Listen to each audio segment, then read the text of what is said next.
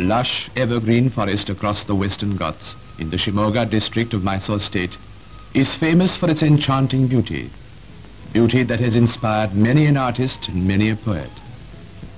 Here the river Sharavati plunges down the mountainside with a dizzy rapture, unfolding a glorious spectacle. It is said once here came a man who on beholding this majestic scene exclaimed, what a waste. An odd comment indeed, but the man who made it was no eccentric. This man was contemplating the invisible power hidden in these mighty torrents. He saw in the falls visions of a myriad canals emerging from a reservoir, visions of hydroelectric power which could turn the giant wheels of industry. This man was an engineer. He was a great engineer. He was Dr. Vishveshvaraya.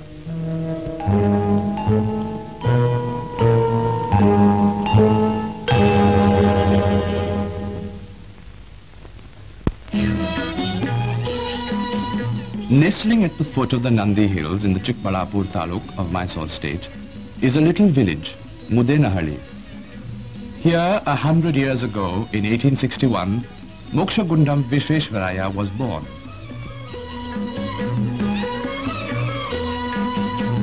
Vishveshvaraya came of a poor family. His mother had to struggle hard to get him educated. It was she who brought him to nearby Chikbalapur for his schooling.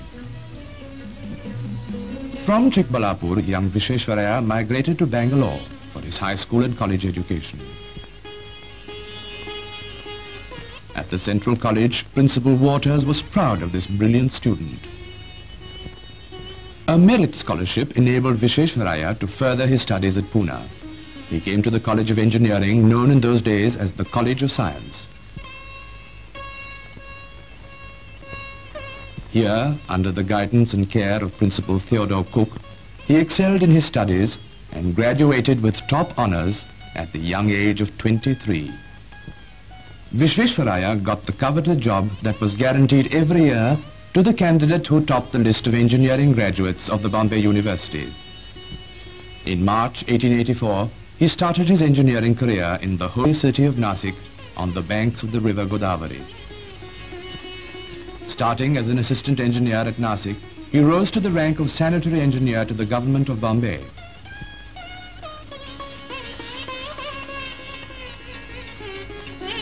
Many and distinguished were the services he rendered during this period. One of his lasting contributions to the state was the block system of irrigation, which he developed in the Neera Canal area of the Pune district. The object of the system was to distribute the benefits of irrigation over a large number of villages.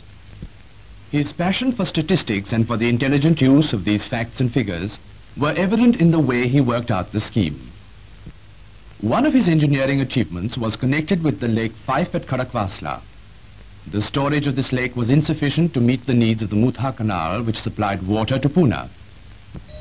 The reservoir overflowed every year above the surplus weir. The problem was to increase the storage capacity without raising the dam. Vishveshvaraya had the answer. He devised a system of automatic gates which did the trick. These gates have stood the test of time and have been copied in other places too. He took out a patent for the gates, but he refused to ask for or accept any royalty from the government. He always believed in work properly blended with recreation. The result was the Deccan Club, which flourishes to this day. In this good work, he had the blessings and cooperation of such eminent personalities as Mahadev Govind Ranade and Gopal Krishna Gokhale. The year 1909 brought Vishveshvaraya to Hyderabad. The Nizam's government secured his services for an important assignment.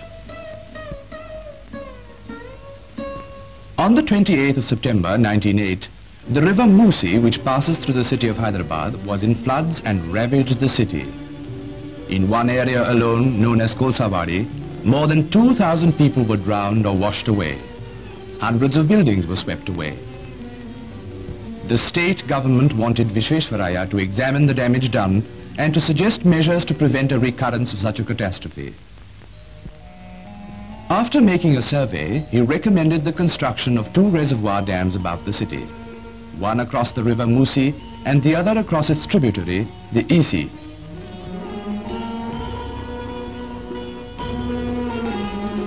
Vishveshvaraya will be remembered with gratitude by the people of Hyderabad as long as Usman Sagar and Himayat Sagar reservoirs are remembered. Vishveshvaraya also prepared a scheme for a modern system of drainage for Hyderabad city. It's a tribute to his foresight that the drainage disposal machinery which he got installed meets the needs of the city even today when its population has increased threefold. Vishveshvaraya also drew up plans for the improvement of the capital city of Hyderabad. His prophecy that when the improvements were carried out, Hyderabad would be able to hold her head high among her sister cities in India has come true today.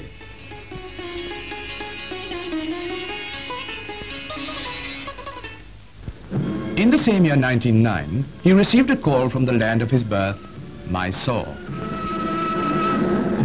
The Maharaja of Mysore offered Vishveshvaraya the job of chief engineer of the state. One of his greatest achievements as chief engineer was the planning and construction of Krishna Raj Sagar Dam across the river Kaveri.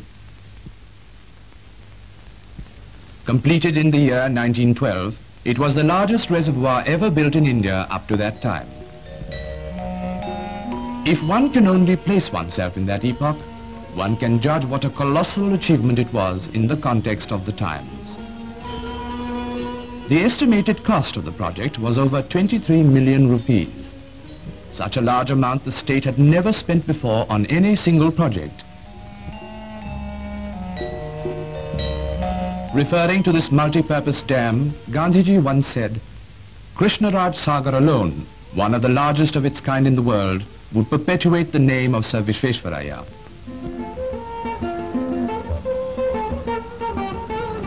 The main irrigation canal named after Vishveshvaraya passes through a varied landscape, coursing through an artificial tunnel nearly two miles long, an engineering feat for that time.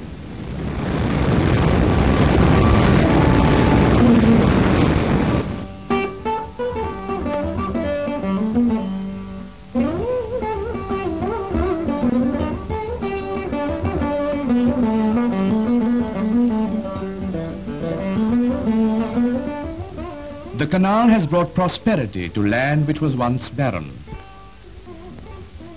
It has led to the extensive cultivation of sugarcane, which has made possible a flourishing sugar industry in the state. The sugar factory in Mandya is one of the largest of that class of factories in India.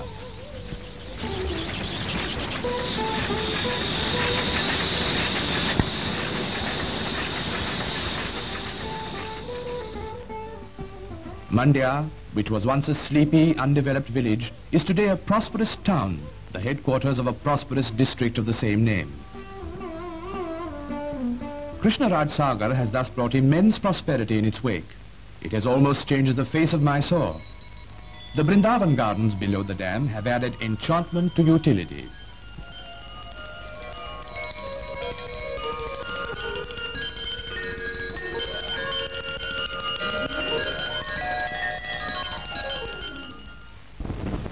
An enlightened and appreciative Maharaja elevated Vishveshvaraya to the position of the Diwan of the state in 1912. Whether as engineer or Diwan, Vishveshvaraya's one aim was to develop the state to enable the people to work well, earn well, and live well. The University of Mysore, the first university in any Indian state, came into being in 1916, thanks to Vishveshvaraya's persistent endeavors.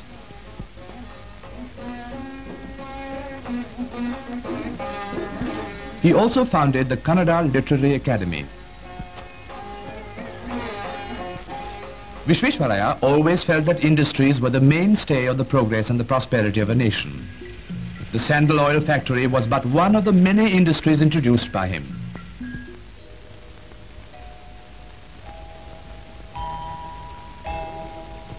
Schemes for a host of other industries like soap, metalworks, chrome tanning and sericulture were developed through the Economic Conference, a planning commission for the state which Vishveshvaraya formulated. His diwanship in the state was marked by a single-minded devotion to the cause of the progress of Mysore state. Vishveshwaraya was connected with the Tata Iron and Steel Company for a number of years. It was perhaps this association that turned his thoughts to the exploitation of iron ore available in the state. With his characteristic drive and energy, he soon set up the Bhadravati Iron and Steel Works. After Vishveshwaraya retired from the office of Diwan, the iron and steel works was in a bad state. The world price of iron had fallen. Experts advised the closing down of the enterprise. It was against this background that Vishveshwaraya was persuaded in 1923 to take over as chairman of the board of directors.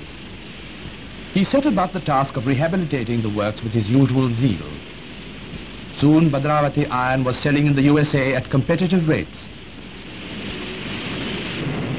To this day, Bhadravati occupies an important place in the industrial map of the country. The remuneration he earned as chairman of the Iron and Steel Works for over six years, Vishveshwaraya turned over to the state government for the establishment of an occupational institute. Today, this institution is one of the premier polytechnics in the country, imparting instruction in technical subjects like wireless telegraphy, radio engineering and cinematography to mention but a few.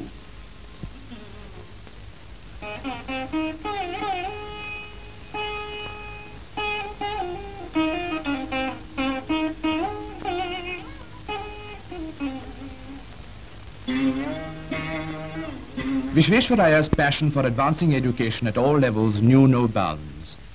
He was president of the court of the Indian Institute of Science in Bangalore for a number of years and was responsible for adding the faculties of some branches of engineering to the institute.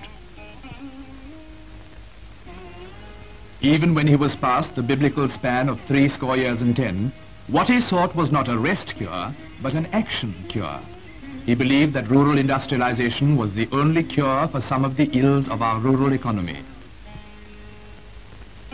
He prepared a scheme for rural industrialization, which the Mysore government accepted and implemented.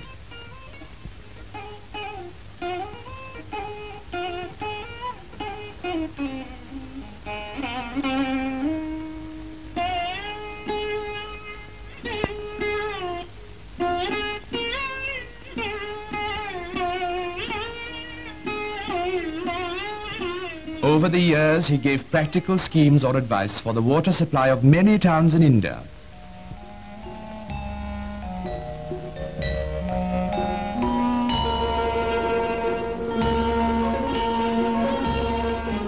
He was also responsible for the water supply schemes of Goa, Hyderabad Sindh and Aden. Vishveshwaraya worked incessantly, preparing plans and schemes for the development of the country.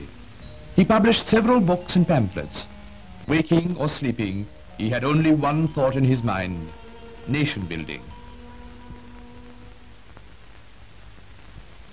Vishveshwaraya travelled abroad several times.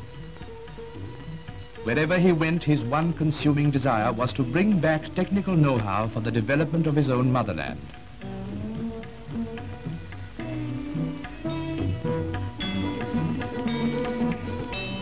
Gave his invaluable technical advice for the location of one of the colossal projects of recent times, the Ganga Bridge at Mokame in Bihar. He was past 90 when he undertook this work.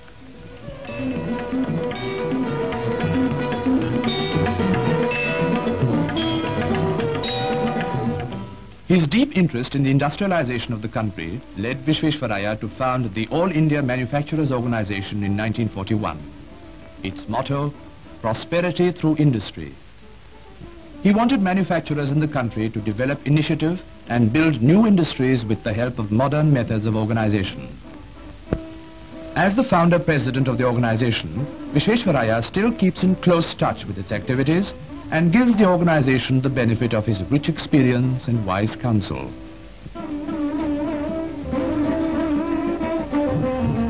Grateful nation has heaped honors on a man who has served the country in so many spheres. Knighthood, degrees, honoris causa galore.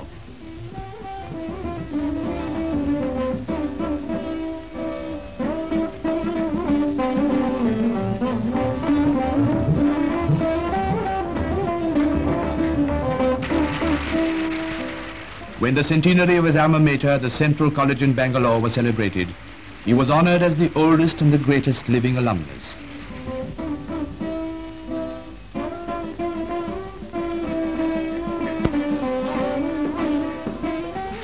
The highest honor that an Indian citizen could receive, the award of Bharat Ratna came to him. In the citation, he was hailed as the father of the idea of planned development in India.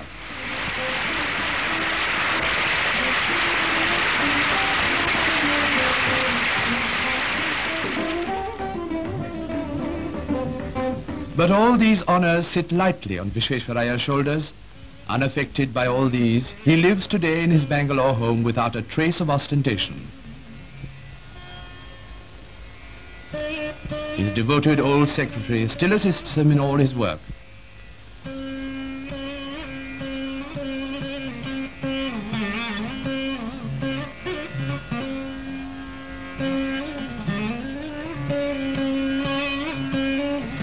Meticulously punctual in his habits, Vishveshwaraya keeps himself busy and active, receiving visitors, holding discussions with them, attending social functions.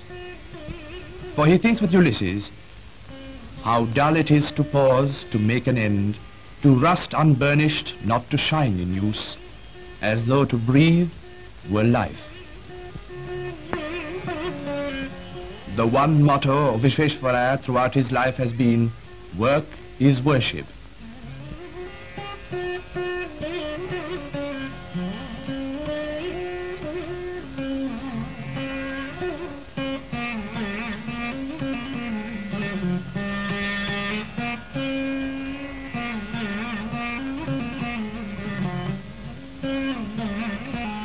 As this Karma Yogi enters his hundredth year, we cannot do better than invoke the benedictions of our sages of yore.